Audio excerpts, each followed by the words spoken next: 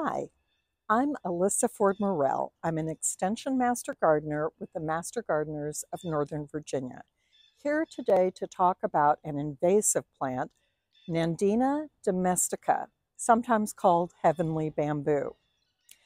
This plant is definitely an invasive plant as set forth in the formal definitions laid out by executive orders signed first by President Clinton in 1999 and later by President Obama in 2016.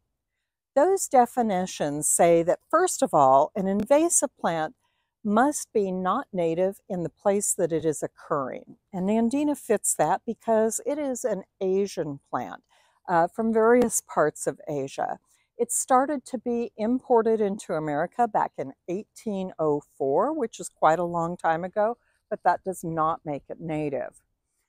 Instead, it fits the definition because not only is it not native to the area in which it's occurring, but it is able to escape cultivation and get into the wild. It does this because birds eat these berries and then fly away and poop them out in our wild spaces. It also can spread by runners and it just slowly gets bigger and bigger by those kind of uh, stolons. So it also has the ability to outcompete native plants causing harm, harm to the economy, harm to the environment, or harm to people, animals, or plants. And indeed, that's what Nandina does. When it gets into the wild, it just really thrives. It creates thickets and it outcompetes the native plants, which provide great food for native animals.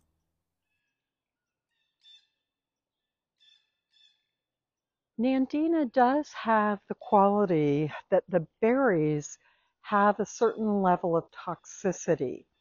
Uh, certainly, one berry isn't going to kill a bird, but there have been studies documenting that birds that gorge on the berries when they're very hungry, uh, it can kill them, particularly cedar waxwings that have that habit. It can also be toxic, or the berries can be toxic to cats. So it's not a great wildlife feature, even though they're very, very common throughout most of suburbia. Nandina is a very popular plant that is widely available in the nursery trade. If you would like to get rid of Nandina, there are a couple of ways to do it. You can certainly dig it out. That's easiest when it's a small plant that maybe hasn't been in the ground for a very long time and hasn't spread a lot of roots. Unfortunately, any amount of root that is left in the soil can resprout. So you would probably need to keep an eye on that area and dig out any new sprouts for the next year or two. The other way to get rid of Nandina is to cut it down and then use an herbicide on the stump. You would need to really make sure by doing a little bit of research that the herbicide that you use is appropriate for Nandina, which is a woody plant, and so not just any herbicide will work for it. Read the directions on the label of the herbicide and follow those directions. You might also want to use some protective clothing and maybe cover up some other plants so that you make sure that that herbicide doesn't get on them.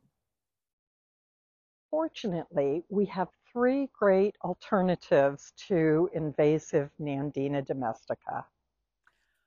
Our first alternative to Nandina domestica as a great replacement is Cornus sericea, red twig dogwood. This is a shrub that is uh, six to nine feet tall. I want to let you know it is not strictly native in Northern Virginia, but it is native nearby, will behave well, will support a lot of the same animals, and will never be invasive in our area. So it makes a good replacement. Over at the Glencarlyn Garden, we had a Nandina for many years that we wanted to get rid of, and we put in the red twig dogwood as a replacement, and we've been very happy with it. In the spring, it has really pretty white flowers, and then it has leaves through the summer and fall. You can see that the leaves are just now dropping and revealing this beautiful, showy red branches that give it the common name. These will persist through the winter and look really beautiful. Um, you do want to regularly prune this shrub because the red branches are really only the ones that grow up in the first year. If you leave them through the third, fourth year, and so forth, they will not be nearly as red. So these ones are brand new stems that have grown since the last season. It's a nice choice. We're here at the Glencarlyn Library Garden with the second replacement plant for invasive Nandina.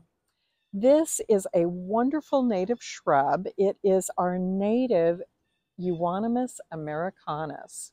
It's got two great common names. The first is strawberry bush, which refers to the fruit that you see in the fall. And the second common name is also about the fruit. Uh, the strawberry bush is because the fruit looks like a strawberry and later it opens up and the name is Hearts-a-bustin and it looks like that heart has just broken open. It has great interest throughout the year. In the spring, it has lovely, delicate little flowers. Then it has pretty leaves. In the fall, you get those fruit. And then here, as we're going into winter, you can see the twigs are still quite green and they've got the little buds for next year's growth. So it's a terrific shrub. It's four to six feet high. One important thing to note is that it is deer candy. Deer just love it. So if you have a lot of deer browse in your yard, this is not the shrub for you. But if you don't, please plant it because this shrub is really having a tough time in the wild staying alive because the deer want to eat it. I'm still at Glencarlyn Library Garden with our third replacement plant for invasive Nandina. This is one that I'm choosing particularly because it has such a small uh, cultivar that will work for some of the very small nandinas that are very popular. Uh, this is Itea virginica, and the common name is Virginia sweet spire.